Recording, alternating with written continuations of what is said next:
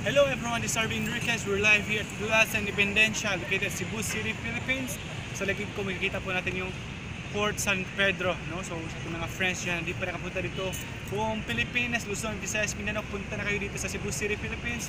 Lalong-lalo na dito sa Plaza Independencia, makikita nyo talaga yung magandang tanawin, napakalinis po. Mga bulaklak, mga halaman, yung surroundings, napakalinis talaga. So huwag kayong magdalawang isip.